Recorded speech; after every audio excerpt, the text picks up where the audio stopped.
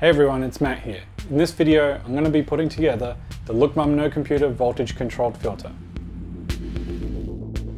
This module is part of the Look Mum No Computer modular PCB collection.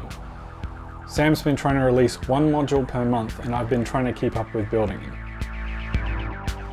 This particular one is inspired by the Korg MS-20 and its legendary filter section. It features a switchable high or low pass filter with a powerful resonance control that can push the filter into self-oscillation. If you want to build this module, you should check out Sam's channel or his website. Just search for Look Mum No Computer. There you can order the PCBs and find the bill of materials. There's also an awesome forum full of people who are trying to build them too so they can help you out with finding sources for some of the more hard to find components.